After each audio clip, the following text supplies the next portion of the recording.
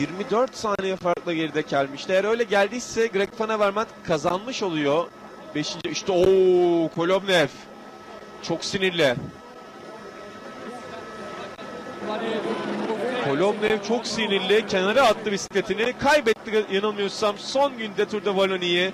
Orada saniyeleri geride kaldı. İşte bir seyirciyle konuşuyor şu anda. Alexander Kolobnev çok sinirli. Greg Van Avermaet son etabı kazanıyor ve